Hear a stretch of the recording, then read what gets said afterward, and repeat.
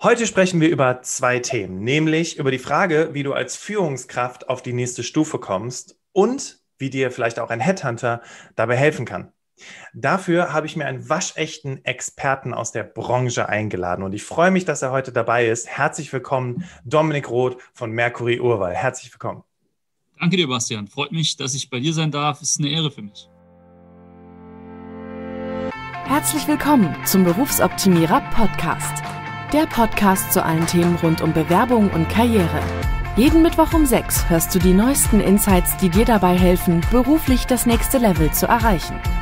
Bastian Hughes ist Business- und Karrierecoach und gemeinsam mit dem Team von Berufsoptimierer unterstützt er dich dabei, dein berufliches und persönliches Potenzial zu entfalten, damit du mit dem erfolgreich bist, was dir am meisten Spaß macht. Wir freuen uns auf die heutige Folge und sagen danke, dass du dabei bist.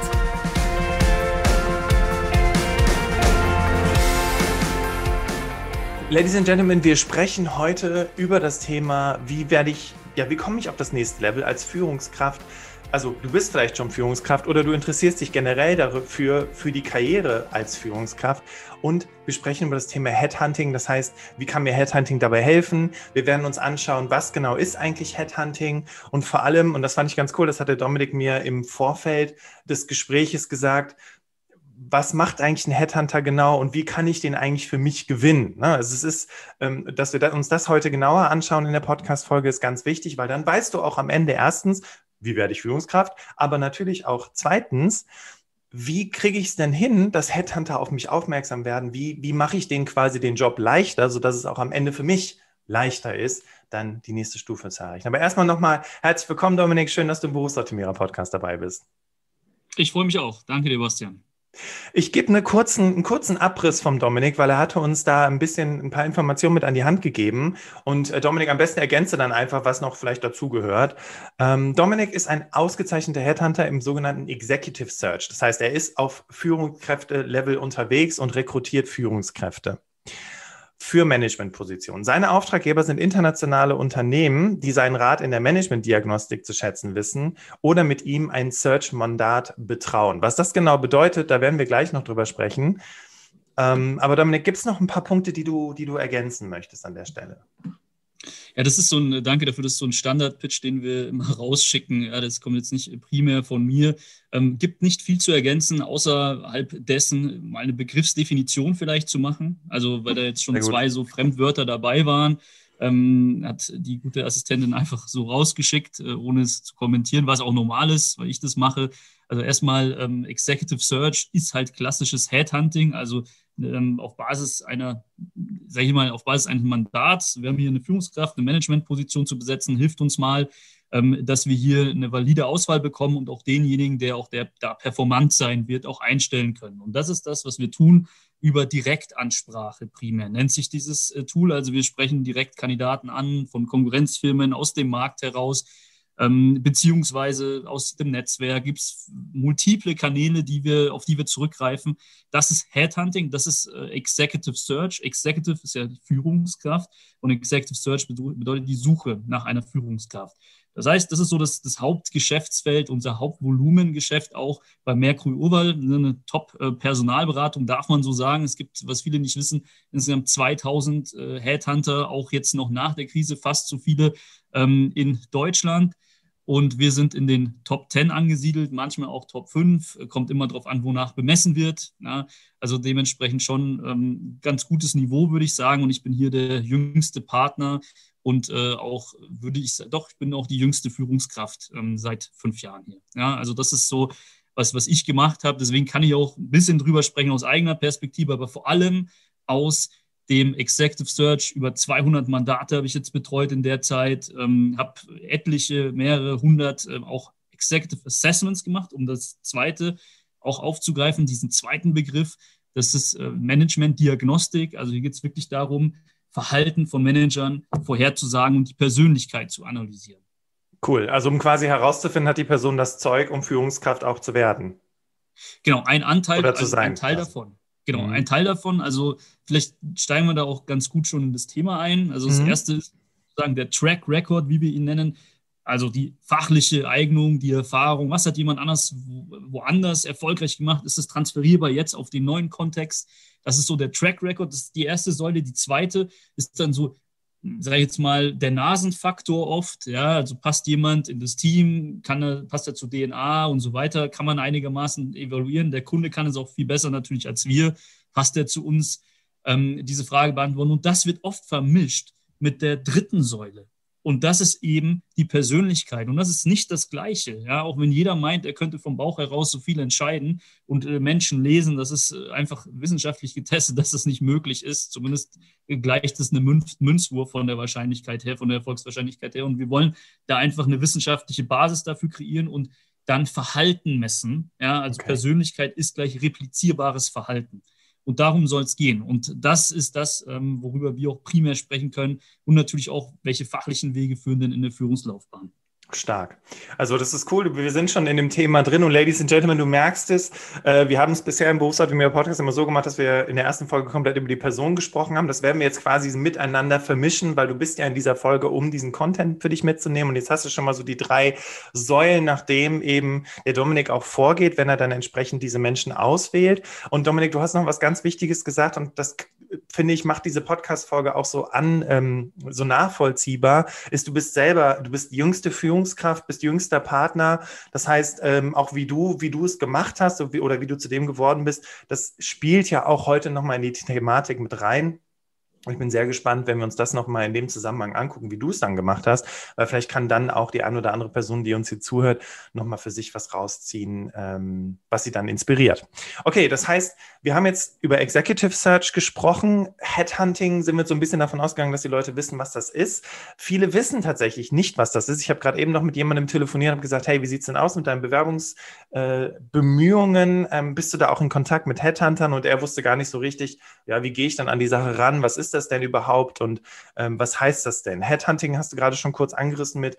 Wir stehen in Kontakt mit unserem Netzwerk, mit Unternehmen, wir rufen Leute an, wir schreiben die direkt über Social Media zum Beispiel an.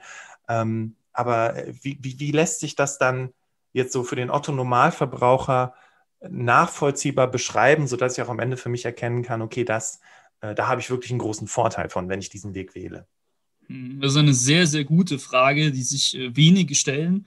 Und ähm, da habe ich schon eine recht ausführliche Antwort, wenn du erlaubst. Gerne. Also das erste ist ähm, Headhunting, also die Definition ist eigentlich so synonym zu sehen zu Executive Search, nur dass halt viele Headhunter eben sich nicht auch auf Executives, ergo auf Führungskräfte spezialisieren.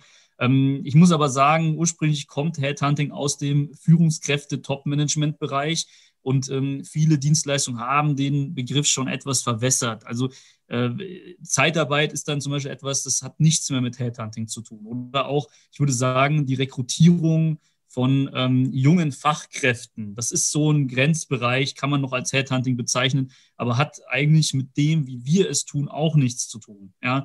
Ähm, es ist einfach eine andere Art. So, das ist vielleicht so erstmal zur Begriffsdefinition zu sagen. Dann, wie kann man Headhunter nutzen? Also erstmal ähm, diese Frage äh, bekomme ich sehr oft und zum Glück stellst du die, denn da kursiert sehr viel Irrglaube. Erstmal ist es so die Unwissenheit, dass es uns vielleicht sogar gibt. Das ist so das allererste.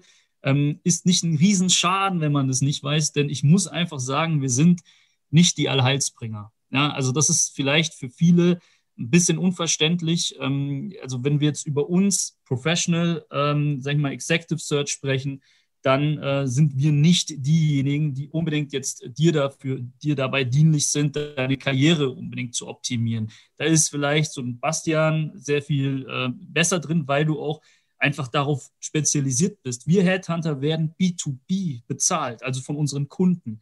Das bedeutet, wir tun etwas, um man, das Mandat erfolgreich zu erfüllen und zu closen mit dem richtigen Kandidaten. Und das bedeutet eben nicht, dass unsere Zeit den Kandidaten gewidmet wird und wir uns jetzt hier mit jedem, der gerade auf Jobsuche sind, gerne unterhalten. Und deswegen werden wir auch immer so negativ dargestellt medial, ja, dass, dass, wir, dass wir irgendwie arrogant werden oder sonst was. Vielleicht ist das der eine oder andere auch, wenn ich mir die so mhm. angucke, meine Konkurrenz hier so, aber darum geht es nicht, sondern es ist einfach nicht ähm, implizit in unserem Geschäftsmodell verankert. Ja, dass wir das Okay. tun, sondern dann, wenn wir ein Mandat haben, suchen wir in unserer Datenbank. Dann, wenn wir ein Mandat haben, gehen wir extern. Und das ist etwas, was man aber schon tun kann. Man kann sich in eine Datenbank begeben.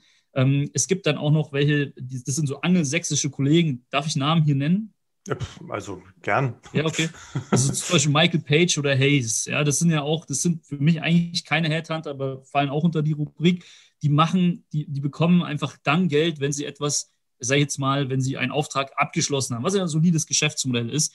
Und diese angelsächsischen äh, Kollegen, die sind dann schon eher gewillt, auch mal einen CV zu pushen. Ja, also Okay. mit einem, mit einem äh, Berufseinsteiger zu sprechen oder mit einer Fachkraft und dann zu sagen, hey, ich habe hier ein paar Stellenanzeigen, ich push dich mal, ich habe da einen guten Draht zur HR-Abteilung. Das kann man schon machen, aber das klassische Headhunting, wenn wir jetzt so von 80 Prozent der Branche sprechen, ähm, die gehen nicht so vor. Ja, sondern Okay. die holen sich erst das Mandat und danach fragen sie. Und was kann ich jetzt tun? Erstens, nicht die, also die richtige Erwartungshaltung haben. Ein Headhunter wird sich wahrscheinlich nicht mit mir treffen, ähm, um mit mir über meine Karriere zu sprechen, denn dadurch verdient er kein Geld. Das ist das allererste.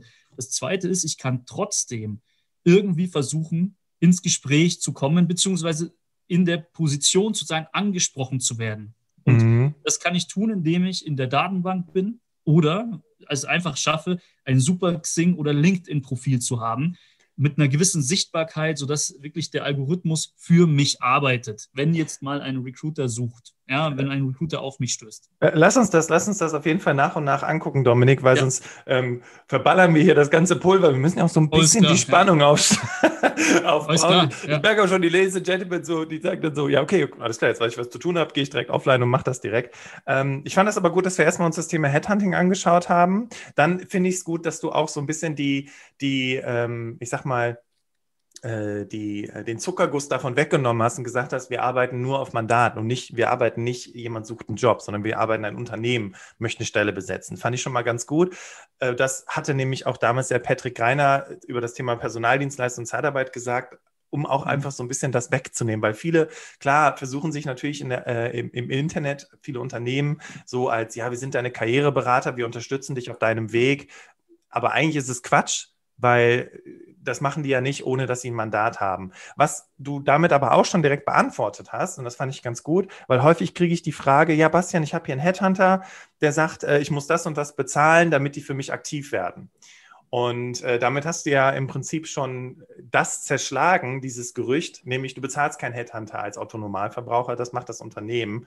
Und das heißt, wenn Unternehmen mit solchen Sachen kommen und sagen, hier, zahl mir x Euro, damit äh, ich dich an das Unternehmen vermittle, dann ist es ja schon mal kein Headhunter, sondern irgendein anderes Geschäftsmodell wahrscheinlich. Ja, vielleicht kann ich da kurz drauf eingehen. Das nennt sich dann äh, ganz Neudeutsch und das ist aber eigentlich auch, also da habe ich wirklich etwas dagegen, muss ich ganz klar sagen. Ich bin Gegner davon. Das ist Inverse Headhunting, nennen die das. Das ist sozusagen das äh, dann andersherum für Kandidaten einen Job suchen und wir beide wissen, dass das nicht funktionieren kann. Ich kann kein Versprechen geben an einen, an einen ähm, Kandidaten, der mir 30.000 Euro zahlt. Also ich kriege auch ab und zu solche Angebote. Hier, ich bin Geschäftsführer XY aus der und der Branche. Hilf mir mal, bei meiner Konkurrenz Fuß zu fassen oder vermittel mir einen neuen Job, kriegst dann 30.000, 40.000 Euro. Erstens brauche ich das Geld vorher. Das ist auch unser Geschäftsmodell. Ja, ist einfach so, ähm, weil wir Berater sind. Und das Zweite ist, ich mache das nicht. Selbst wenn du mir 300.000 gibst, ich kann dir dieses Versprechen nicht geben. Ja, das ist einfach nicht möglich. Wir schöpfen hier. Du bist einer von vielen, einer von vielen Generalisten beispielsweise auf Führungskräfteniveau. Und es gibt einfach, ich kann nicht Unternehmen so stark durchdringen, die ich nicht kenne, die nicht in meinem Netzwerk sind, dass ich dort überzeuge, nimm lieber den Geschäftsführer und nicht den anderen. Das ist nicht möglich. Aber einen Kandidaten kann ich schon ansprechen und einfach sagen, hey, ich habe ein besseres Mandat für dich, einen besseren Job vielleicht für dich, hör dir das doch mal an. Ja, Ja. Das ist schon andersrum möglich. Ja, finde ich sehr gut. Jetzt hast du gerade schon angerissen, wie gehe ich vor, um Headhunter auf mich aufmerksam zu machen. Und das, das habe ich mir auch auf jeden Fall schon aufgeschrieben, dass wir das noch klären sollten. Äh, vielleicht noch zwei Dinge im Vorfeld, weil du hattest es gerade schon so ein bisschen, als du auch so, äh, auch da wieder ne, das Mysterium davon weggenommen hast, vielleicht, dass wir die noch kurz differenzieren. Gibt es vielleicht, weiß ich nicht, ein bis zwei Do's and Don'ts, die ich in der Zusammenarbeit mit Headhuntern berücksichtigen sollte, damit wir am Ende des Tages alle was davon haben? Ne? Klassische Win-Win-Situation. Ja, also ähm, die Frage ist, über welche Zielgruppe sprechen wir?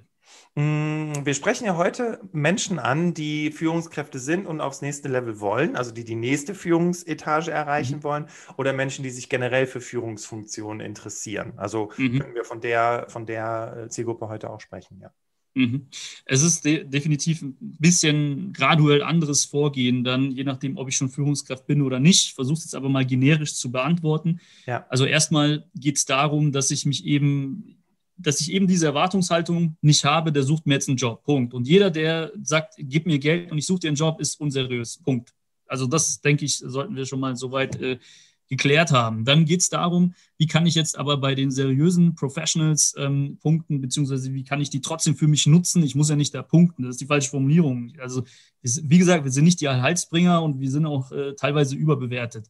So, und dann muss ich einfach sagen, ähm, wie gehst du vor? Also, erstmal siehst du mal zu, dass man, dass man dich auch findet, dass du auffindbar bist. Also erstmal Xing, LinkedIn sind die gängigsten Portale dafür ähm, um tatsächlich angesprochen zu werden. Ja, das ist so das allererste, ein gutes Profil zu haben unter, ich biete jetzt nicht, bei Xing gibt es ja dieses Fähigkeiten und Kenntnisse, früher hieß es, ich biete nicht irgendwelche Soft Skills reinschreiben, die einfach austauschbar sind, nach denen auch kein Recruiter sucht. Dazu muss man die Ohlsche Suche kennen. Das ist bestimmt auch schon mal in deinem Podcast angesprochen. Ja. Also das ist so, ohne das jetzt, um dazu detailliert zu werden, das ist so das Erste. Das Zweite, ähm, wenn ich, ich kann mal, wenn ich in einer gewissen Branche bin, zum Beispiel im Modebereich, da gibt es eine ganz gute Boutique hier in München, damit ich nicht nur von uns spreche.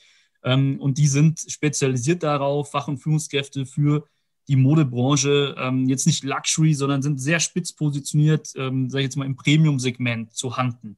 Okay. Wenn ich da in der Datenbank bin, habe ich schon mal, ehrlich gesagt, ein ganz gutes, äh, ganz gute Chancen, weil ich auch spitz positioniert bin. Also ich suche mir dann auch Headhunter, die spezialisiert sind auf etwas, beziehungsweise wirklich in den Top 10 sind, Top 20, von denen ich einfach weiß, die agieren seriös.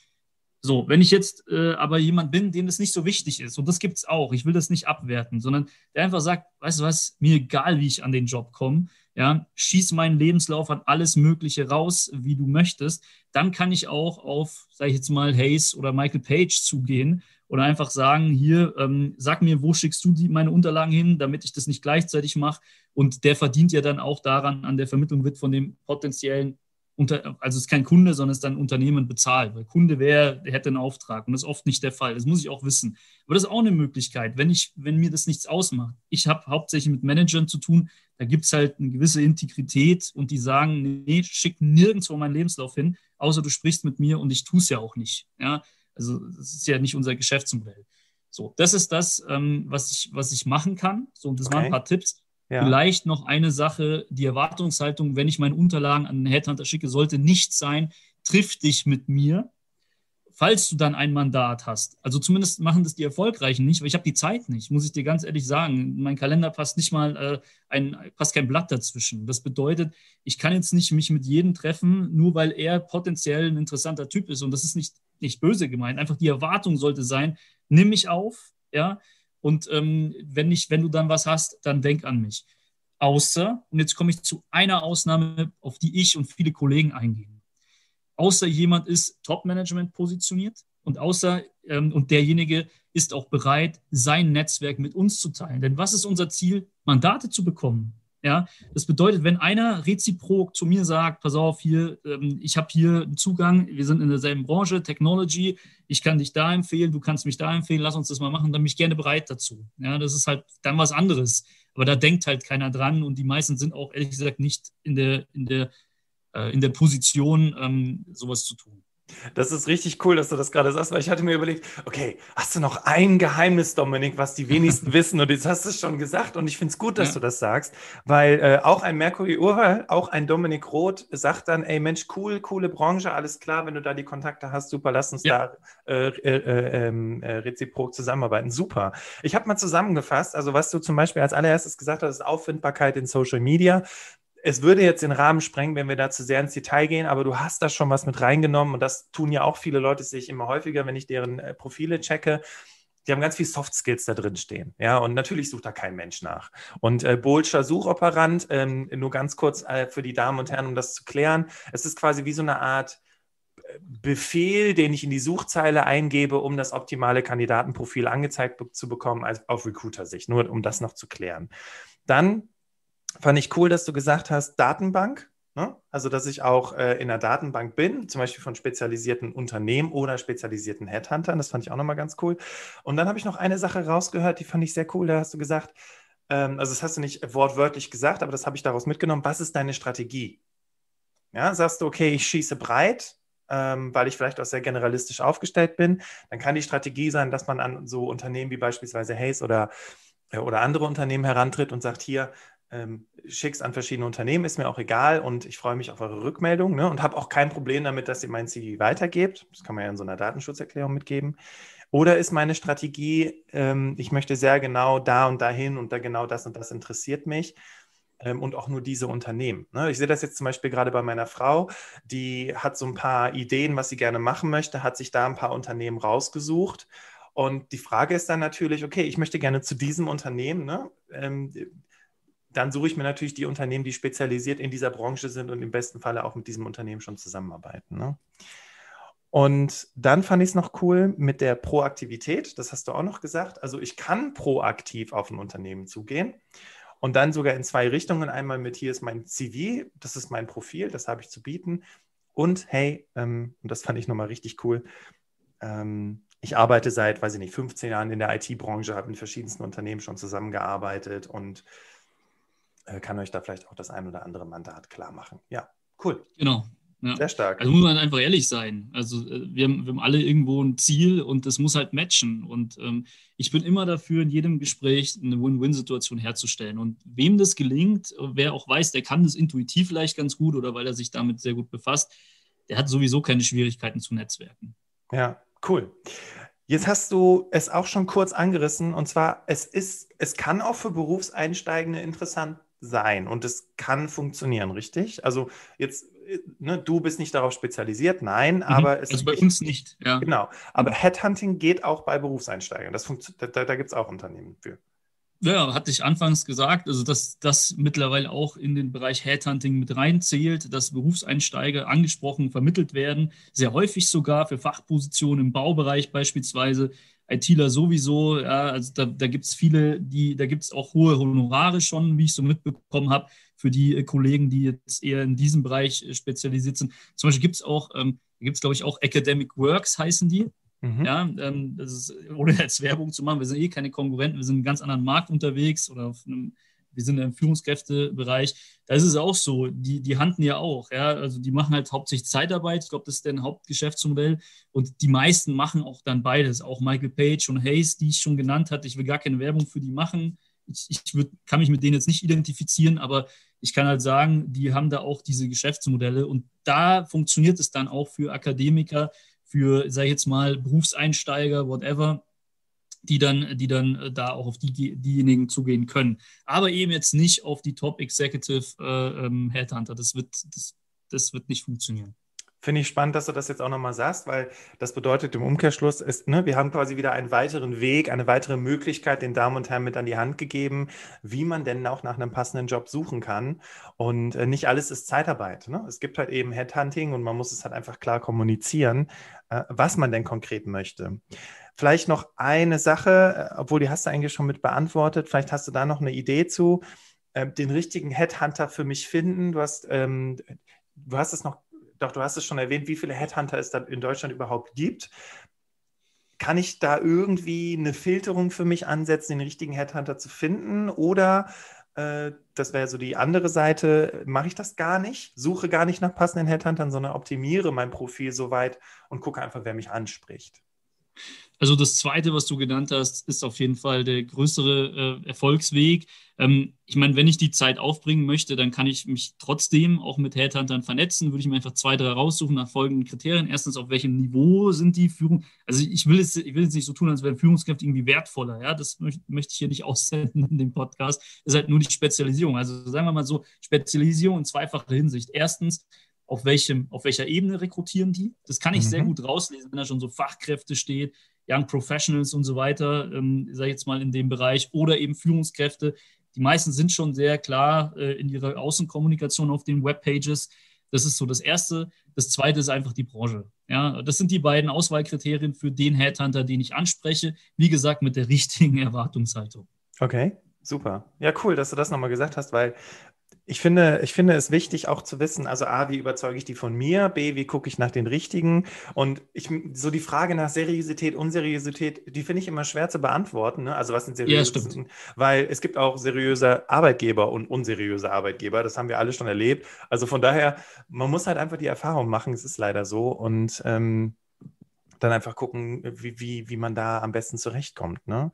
Eine Sache, die gebe ich noch mit ähm, für die Damen und Herren, weil häufig, das kriegst du ja bestimmt, also dafür bist du eigentlich die perfekte Adresse, nämlich Gehalt. Ne? Ganz häufig so, ah, bin ich mit meinem Gehalt drüber, bin ich mit meinem Gehalt drunter. Und meinen Klientinnen und Klienten gebe ich immer den Tipp, am besten solltest du mit Headhuntern in Kontakt treten, weil Headhunter wollen dich natürlich zu einem Gehalt vermitteln, wo es sich für sie selber lohnt. Aber mhm. die können dich natürlich auch nicht über die Maßen mit einem krassen Gehalt verkaufen, weil sie dich dann nicht verkauft bekommen, weil du einfach zu teuer bist. Mhm. Punkt. Kannst du das bestätigen, dass Headhunter eine sehr, sehr gute Adresse sind, um auch sein Gehalt zu ermitteln? Ja, Oder herauszufinden, schon. was geht, sage ich jetzt mal. Ja, es gibt auch äh, viele Headhunter, ähm, die Konkurrenz nenne ich jetzt nicht vielleicht, aber die halt tatsächlich gute Gehaltsstudien auch rausbringen. Das machen wir nicht. Wir sind nicht so darauf spezialisiert, sondern eher auf diesen Diagnostikbereich. Ähm, aber die, das, das kann man schon. Und ich meine, ehrlicherweise ähm, ist doch so viel mittlerweile an Datenmaterial verfügbar. Ähm, da gibt es auch die ein oder andere Page, ja, wo ich einfach nachgucken kann. Ich brauche dafür den Headhunter eigentlich nicht. Also ah, okay. um jetzt, um jetzt da, ähm, ich mein, wie, wie, nennt sich die, diese eine Seite, müsste ich mal nachschauen. Nochmal, ähm, weil ich habe auch ein Coaching, so wie du, wo ich auch B2C, also da nehme ich dann auch dieselbe Rolle wie du ein. Und da habe ich dann einfach mal so, da habe ich ein Video gedreht, in diesem Online-Kurs und Coaching dazu es gibt, glaube ich, äh, es gibt irgendwie 45 Minuten und da habe ich alle Gehaltstipps dazu gepackt, ja. Aber ähm, da, da gibt es einfach eine Seite, Glassdoor ist eine Seite zum Beispiel, ja. glassdoor.de, kennst du auch sicherlich. Da einfach mal die Benchmark nehmen und dann natürlich mit der höchsten, äh, mit, dem, mit dem höchsten Wert reingehen ja, ins Gespräch. Ja. Das ist so der, der, der beste Tipp natürlich. Aber jetzt einen Headhunter brauchst du nicht unbedingt, um zu wissen, wie viel wird da und da bezahlt was man halt so, wo man ein Gefühl haben sollte, ist, dass natürlich im Pharma-Bereich anders gezahlt wird als im Beauty-Bereich, obwohl es da eine große Überschneidung an Rollen gibt. da kann, kann auch schon mal, kann schon mal 20 Prozent Unterschied im Gesamtgehalt vorherrschen. Aber also darum geht's. Ja, also brauche ich keinen Headhunter und ich meine, ich liege schon fast immer richtig, weil Kunden mich fragen, aber das liegt halt daran, dass ich fast, also dass ich oft dieselben Rollen habe. Ja, ja, okay. also das, das, liegt nicht daran, dass ich besonders äh, den gesamten Markt kenne.